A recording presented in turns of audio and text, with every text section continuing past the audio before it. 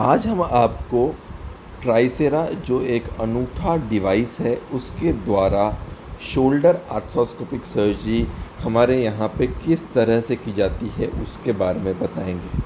Conventional shoulder arthroscopy में तीन से चार अलग अलग इंस्ट्रूमेंट यूज़ होते हैं, जिसको रेडियो फ्रीक्वेंसी, शेवर और बर कहते हैं।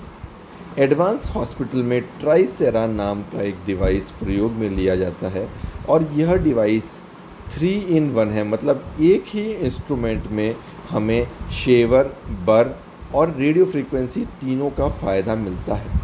यह डिवाइस थोड़ा महँगा होता है, परंतु इस डिवाइस के माध्यम से हम सर्जरी की जो प्रिसीशन है सर्जरी की जो एक्यूरेसी है, उसको काफ़ी हद तक बढ़ा सकते हैं सर्जरी की स्पीड को बढ़ा सकते हैं और मरीज़ को जो हम रिज़ल्ट दे सकते हैं, वो काफ़ी ज़्यादा बेहतर हो जाता है।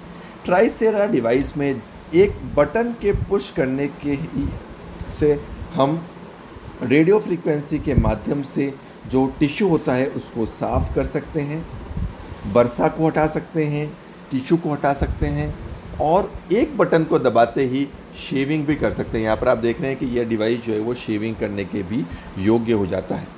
यह डिवाइस जिमर बायोमेट नाम की एक कंपनी का पेटेंटेड डिवाइस है और इसके काफ़ी अच्छे रिजल्ट्स हमें पेशेंट्स में देखने को मिलते हैं। सर्जरी की जो रिज़ल्ट्स है, उसको अच्छा करने में, हमारे एडवांस हॉस्पिटल के सर्जरी के रिजल्ट्स को अच्छा करने में इस डिवाइस का बहुत महत्वपूर्ण योगदान है।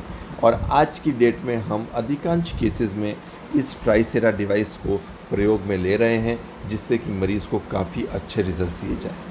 शोल्डर आर्थोस्कोपिक सर्जरी खासकर कि रोटेटर कफ रिपेयर सर्जरी में यह डिवाइस बहुत ही काम का है और इस डिवाइस का प्रयोग करने से हम काफ़ी अच्छे रिजल्ट्स मरीज़ को दे सकते हैं। अगर आपको भी ट्राइसेरा डिवाइस के बारे में अधिक जानकारी चाहिए तो आप कमेंट बॉक्स में लिख के भेज सकते हैं। अगर आपको शोल्डर की तकलीफ़, जैसे कि फ्रोज़न शोल्डर या रोटेटर कफ इंजरी है तो नीचे दिए गए नंबर पे अपनी रिपोर्ट्स भेज के हमसे ओपिनियन ले सकते हैं। धन्यवाद।